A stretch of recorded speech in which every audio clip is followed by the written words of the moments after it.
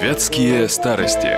В этот день сто лет назад вятские газеты писали – Газета «Вятская речь» поведала читателям о большом весеннем подъеме воды в реке Вятка, о заполнении слободы Дымкова. Заметка называлась «Вятской Венеции». Горизонт воды реки Вятки ныне поднялся очень высоко, превзойдя уровень прошлых лет. Слобода Дымкова вся в воде. По улицам ездят на гондолах. Некоторые жители покинули Венецию и перебрались в город. От разлива пострадали изгороди. Одни повалены, другие унесены водой. По словам дымковчан, столь большие разливы очень редкие.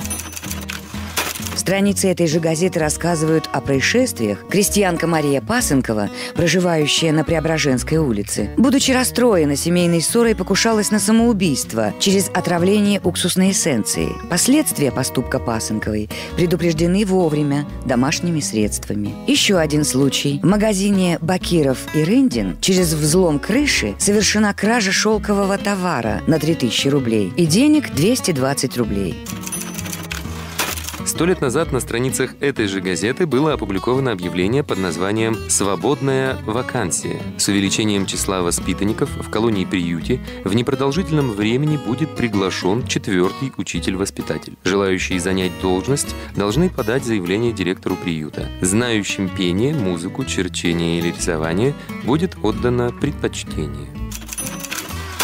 Вятская речь весной взволнованно писала. Инспекторам народных училищ по Вятскому уезду предписано учительницам начальных училищ заняться на пасхальных каникулах ознакомлением с имеющимися при училищах библиотеками и по ознакомлению изъять все книги и брошюры политического содержания и отправить их в управу. Причем надо заметить, что по предписанию господина инспектора должны подлежать изъятию такие безвинные книжки, как, например, «Петька на даче», «Бергамот и Гераська и другие. Мы уже неоднократно указывали, что требуемое изъятие из народных библиотек, производимое по таким неопределенным признакам, как тенденциозность и политичность в руках не в меру усердных и часто совершенно невежественных в литературе людей, приводит к настоящему вандальскому опустошению этих библиотек, лишая их всякого культурного значения – если в конституционном государстве страх перед политикой так велик, что необходимо изъятие книг из библиотек,